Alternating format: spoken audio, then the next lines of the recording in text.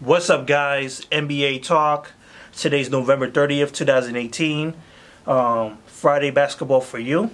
Here to talk about the Toronto Raptors versus the Golden State Warriors, which was a big time game last night. Um, just to note, I will not be posting any videos for tonight's games um, because I have a film project I have to do. I have to film up. Well, I have to set up my set. Um, and then tomorrow I shoot.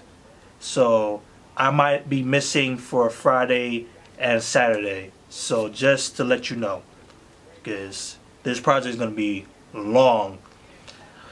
It's going to take some time to finish, so I might not be able to push any videos out. So that being said, let's get into the video. Toronto versus Golden State in Toronto Raptors Arena. Um, Toronto got that win, but barely in overtime. Uh, 131 to 128 in overtime. Uh, Toronto Raptors was very good in the first half, passing the ball pretty good, um, and limiting the uh, the turnovers. They were not turning the ball over in the first half. In the second half, they were. Uh, Kawhi Leonard was phenomenal. Siakam. Every time I talk about the Toronto Raptors, I have to talk about Siakam because this guy has been the real deal I think he's definitely one of the most improved players of the year. He's definitely a candidate of that. Uh, Serge Ibaka, Kyle Lowry in his passing, he was not turning the ball over and he was getting a lot of assists. Uh, Danny Green was doing some good things, and you got people off the bench like Valanciunas doing some good things. The problem with the Toronto Raptors is that they allowed the Golden State Warriors to keep themselves in the game. The Golden State Warriors were almost down by 20, and they found themselves climbing themselves back up again. KD leading the charge. He was not getting that much help. They, were, they, they started playing defense. That was a very positive about it, but their offense was definitely missing. Um, like uh, Klay Thompson was doing some good things, but he was missing more than he was making. Then you have Jerebko doing some. He he was doing some very good things coming off the bench. Bench player doing some very good things. Uh, he has been a very good asset acquiring of this offseason. Um, yeah, they kept themselves in this game, and KD ended up pushing it, um, getting the uh, tie in the fourth quarter, sending it into overtime. He had one three pointer, that big um, like he ran into the baseline, got stopped by Kawhi Leonard, went to the three point line, shot it in his face, and made it. How many people could say that? That's crazy. That that's probably the biggest highlight of that game.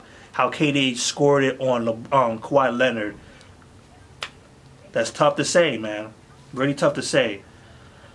But in the end, uh, the Raptors were able to maintain themselves, even though the Warriors are right neck for neck for them. But they were able to get those three points, those three points on the Golden State Warriors, and get that win. So that's pretty much it to say.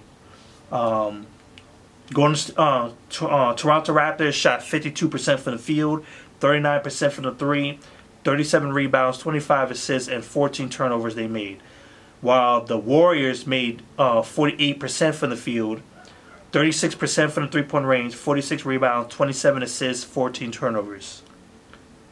So that's pretty much it to say. Um, Raptors, you had Kawhi Leonard with 37 points, 8 rebounds, 3 assists.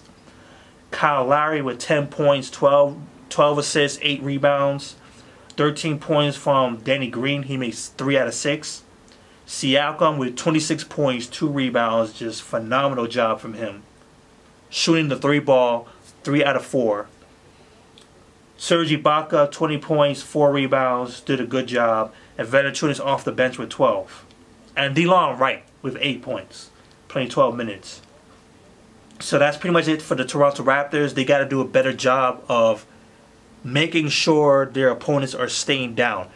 The Golden State Warriors, the defending champs, they have to learn, well, the Toronto Raptors have to learn to put them down for the count. Do not let them get any momentum. That's that's that was the only problem that was going on with the Raptors. in this game. Just allowing the Golden State Warriors to keep up and tie this game up in the end.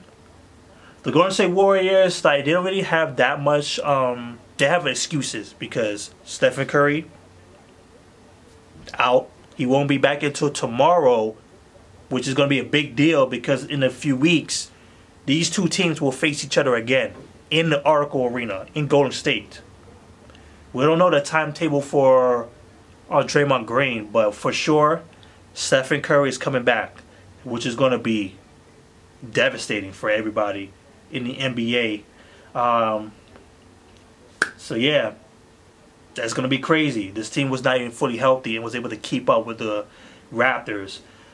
Kevin Durant put on an absolute show. 51 points, 11 rebounds, 6 assists, 18 from 31 from the field, 4 for 7 from the 3, 11 from 12 from the free throw line, and only one turnover.